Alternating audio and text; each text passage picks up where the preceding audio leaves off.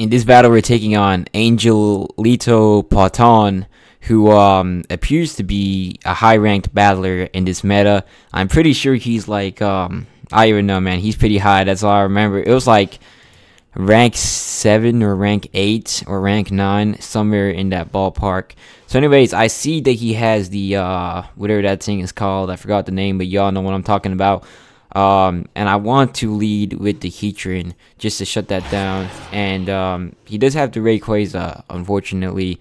Um, but we, we need to find an opportunity to probably bring in the Excadrill just to wrap rapid spin because Charizard does not need to be hit with Stealth Rock. So is this the lead? Probably not actually. I could just go into Charizard raw and just see what I can get out of it because he actually doesn't really seem to have something that wants any business with the fire types. So yes, as um, anticipated, he does lead with the Forretress. Um, now when you when you come across really high skill players, you'll see they try and mix it up a bit. Um, but typically, even even here at rank 823, which is relatively high in this specific game, since it gets reset, you know they're gonna do the same thing most of the time. So, anyways, um, now you'll notice this is the Mega Charizard Y team. I didn't do a good job of explaining it, but this is the uh, Charizard, the Mega that was viewer requested. And really, I'll be honest, this is just the start of you know the Charizard Y experience. So I'm going to be trying to try different teams and different Pokemon. Although this was just one that I'd say is at a very high competitive level. Like all these Pokemon are meant to synergize really well. Now I don't know about Hatterene. That is not something I've ever used before. But I wanted Magic Bounce just so I could shut down entry hazards. Now I do have the Excadrill, but I don't think one layer is enough for my comfort, which is why I have Hatterene here with Magic Bounce, just in case I ever want to use that as a lead. And actually, dang, I messed up. I shouldn't just use that as the lead right now, especially since it has Mystical Fire. Let me just go do that right now, actually. Um, yeah, I didn't even know. I completely forgot I actually have this because that's that. This is the exact purpose that this is for, so I can shut down his Stealth Rocks on site. And now it's gonna be bounced back. Like man, I used Mega Sableye. That was my first Mega ever, and I remember just loving that ability. Like any entry hazard team was like so exciting to face for me because like no one would ever expect you know to get their entry hazards bounced back. So yeah, now he's basically got Stealth Rocks on his side, and that's going to shut down his own Charizard. And we're probably going to pick up a KO here somewhere. He might actually have Gyro Ball, though. That's going to be a problem, but I'm sure we can take those if we need to. And we've also brought, brought him down to his Focus Sash, so everything is nice right here. And I'm actually probably going to switch out into the uh, Charizard, probably. I don't think he's going to have the balls to Stealth Rock again. He's probably just going to go for the Gyro Ball if I were him.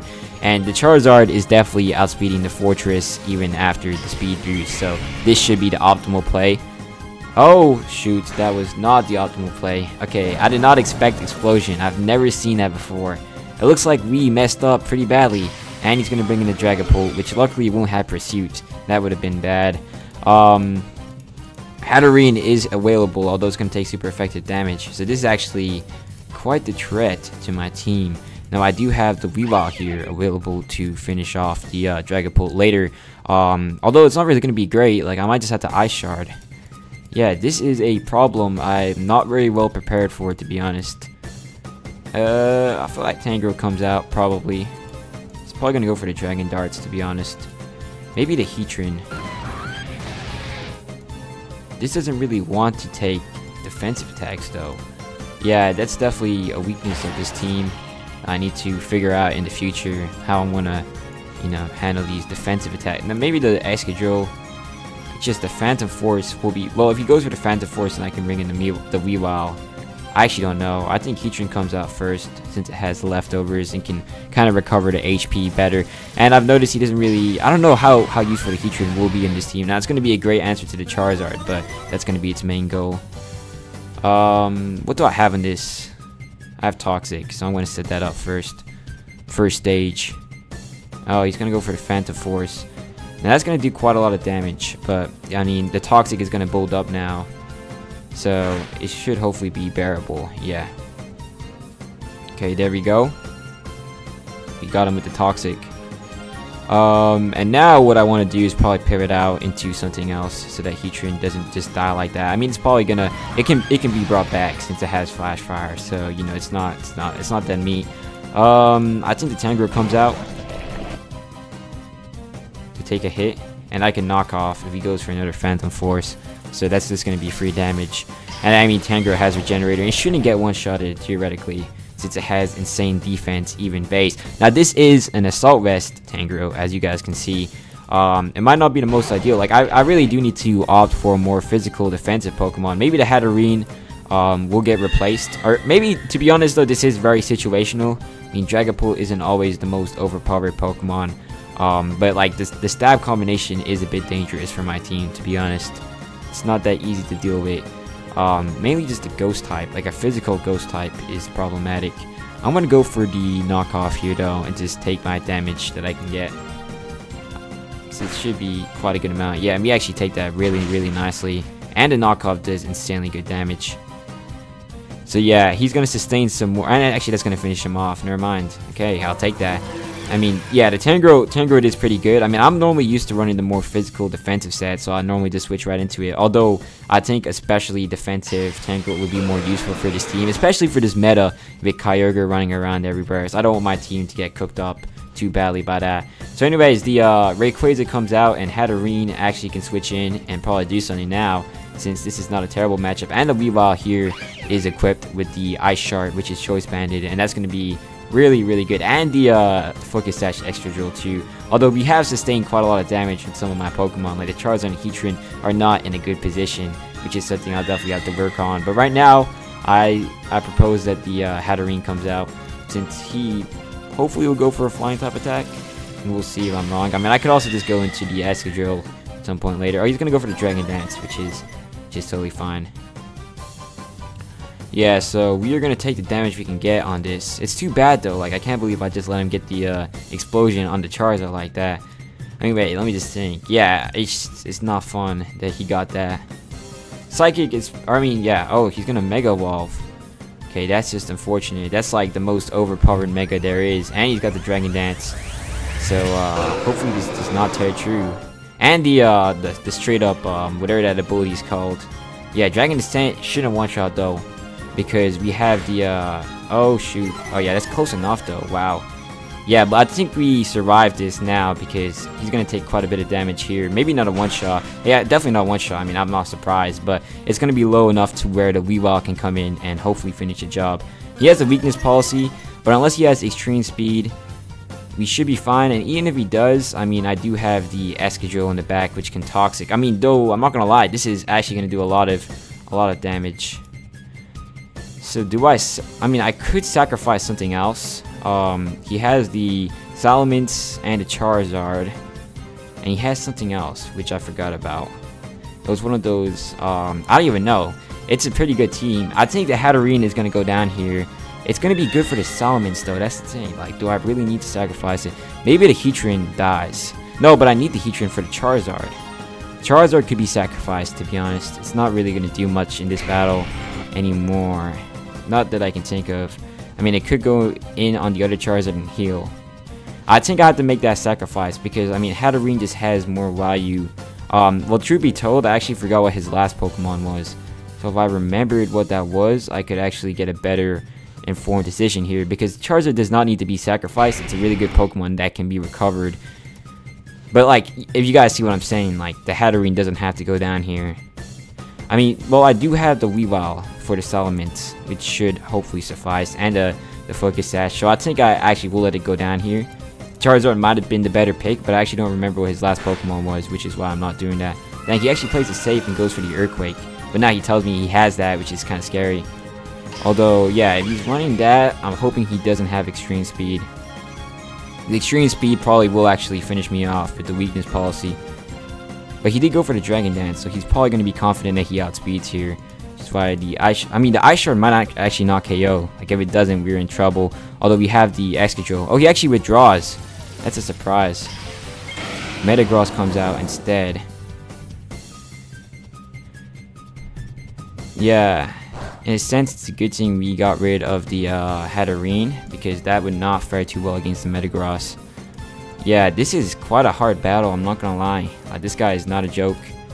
Um, Bullet Punch especially is going to be an issue.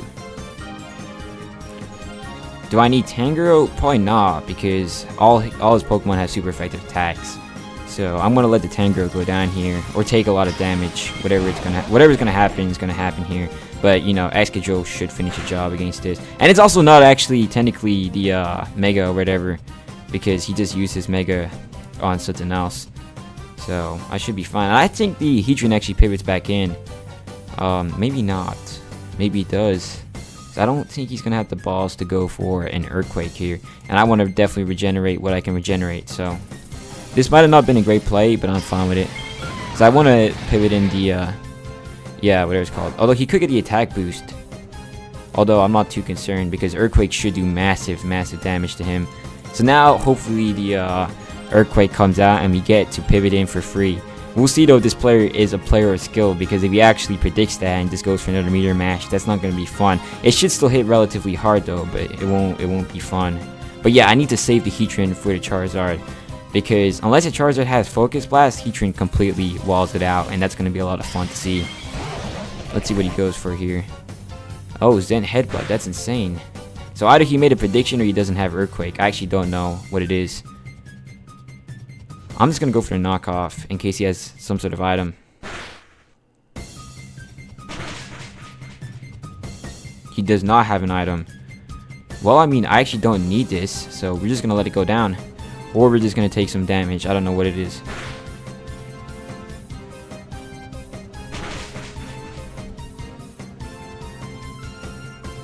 Actually, I could use it as a sacrifice. But I want to keep the Heatran alive, that's the problem. And I don't want to lose the Focus Sash on the Excadrill. Yeah, this is tough. Although I think Charizard comes out next. Sets up the Sun. Which shouldn't activate the Charizard since I have the Heatran available. Yeah, it's hard battle, I'm not gonna lie. But I think the Tangrowth goes down here. I shouldn't have started with the Earthquake rather than going for the knockoff. It's a misplay on my part, but it's alright. And he actually, unfortunately for him, has not gotten an attack boost yet. Well, hopefully he doesn't finish out the Charizard with the Bullet Punch. It shouldn't because clearly this isn't, you know, going to be that capable. It doesn't seem to be. And I'm actually just going to go for the Roost. Hopefully he goes for the Bullet Punch here. If he goes for the Zen Headbutt, then we're cooked because that's going to hit like a truck. And we might actually, like, put ourselves in a terrible place. Depends. I could be selling right now. But I'm hoping he goes for the Bullet Punch if he hasn't. Please, Bullet Punch. Oh, shoot. We messed up, guys. We definitely messed up. Yeah, it's gonna hit like a truck. Dang. Actually, not that bad though. We do take it pretty good. Yeah, this guy is not at all predictable. Like, he is... He just... I guess he didn't have Earthquake. I don't even know what he's running on this Metagross, man. He's got Meteor Mash. He's got Zen Headbutt. But what else is this dude running on his on his Pokemon? That's crazy to me. Like, it's it's an insanely bizarre set. Although now the Rewild does hopefully... Like, I could probably just go for a Flamethrower here and be fine. I don't think I need to though. Although this might have a focus sash. I'm tempted to just flamethrower on what's probably going to be a dragon dance. And then revenge kill. Wait, so yeah, I don't need this anymore. So flamethrower should hit pretty nicely. Yeah, and we do outspeed, which is good. He's probably going to go for a dragon dance. And uh, this is either life orb or focus sash since it's not a mega. Yeah, that does good damage. Do we get the burn? No, we don't. But he's going to get the Dragon Dance, although now we are definitely in a good place in a good time because the Weavile goes in for the Ice Shard. Now the Charizard's still going to be there, but you know, we've definitely, we just need to make sure the Weavile stays alive. Like that's the game plan. You just got to really plan for the advance when you're using an offensive team like this. It's scary, I'm not going to lie, but I mean, we, we are not like in a place of uh, misery yet.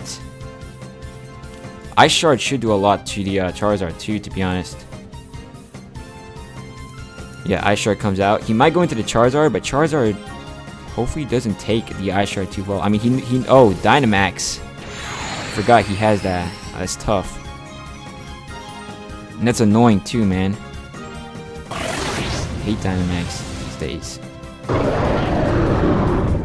It should hopefully still KO though. We'll find out if it doesn't. Okay, good.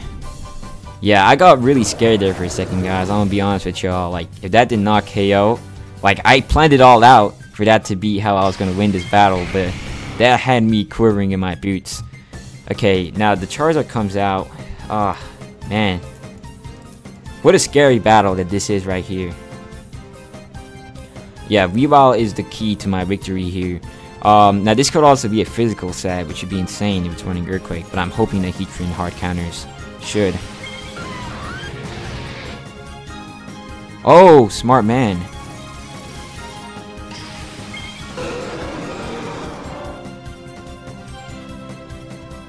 Okay, we do get some recovery there. Now what do I do? Goodness. Goodness, this guy is actually insane.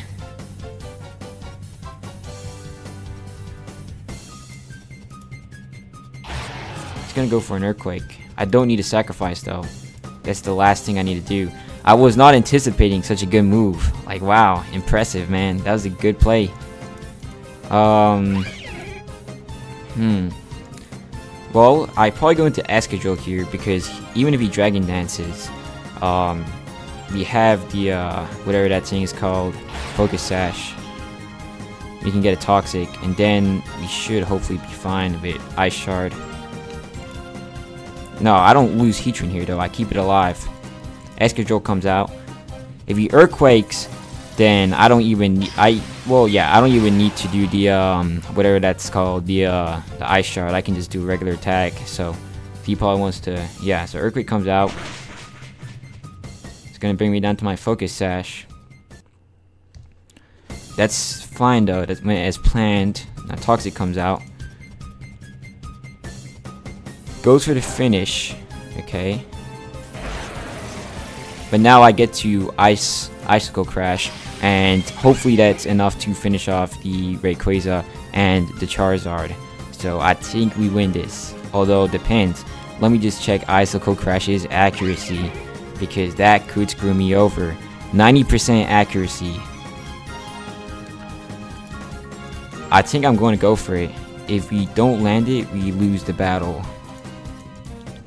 Oh, withdraw. Okay, now do we land? I need this to land. Because if we land, then we should be in a really good place at a good time. Because we don't need to go for the Ice Shard here. Yeah, let's see how much damage this does. My... Oh. Okay, what is this BS? Mysterious Air Current. Now, he could actually theoretically go back into the Rayquaza. And we're choice locked. Dang! Okay, that is terrible. We no longer... He could just switch back into the Rayquaza now. Please don't do that. Please don't go into the Rayquaza here. I think he actually wins. I thought I was gonna win this. I don't know if that's how it works though. Okay, he messed up. He sold. He actually sold. He actually could have won that right there. Because that was some BS that I... Maybe that's how it works. But like, that's insane if that's how it works.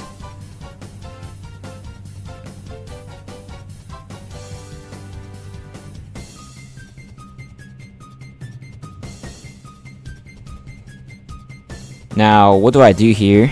Um, I could go for the taunt. That is an option. I could go for the switch, predicting the Rayquaza. It's hard. Um, I'm taking the taunt. But not really.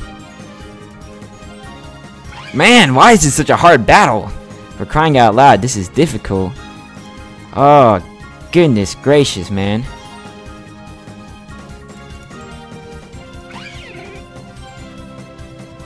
If I taunt, I can ensure that Icicle...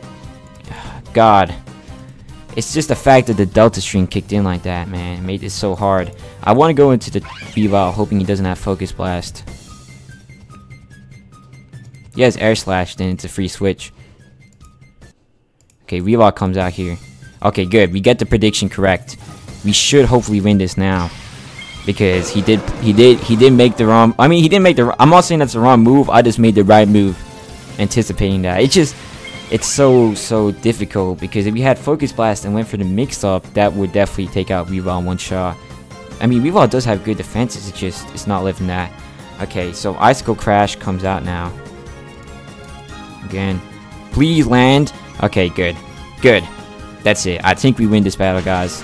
Now the Rayquaza has been finished off and um, Charizard should theoretically lose to the combination of Icicle Crash and Heatran. If not, then that's just sad. I'll just cry at that point. I mean, I could just switch out actually. I mean, let me just think. So, Icicle Crash is a resisted attack. So, Knockoff should theoretically do more damage. So, Heatran comes out on what's hopefully going to be a Flamethrower. And then I win if I get this one correct. It's so risky though, man. He probably he could have Focus Sash. Or I mean, Focus Blast, but... Okay, Flamethrower. So yeah, I think we secured the win here. That was actually an insanely hard battle. Like this, this guy right here, rank 823, is actually no joke. Oh, I need forfeits, unfortunately. But yeah, that's going to be GG. What a good battle right there.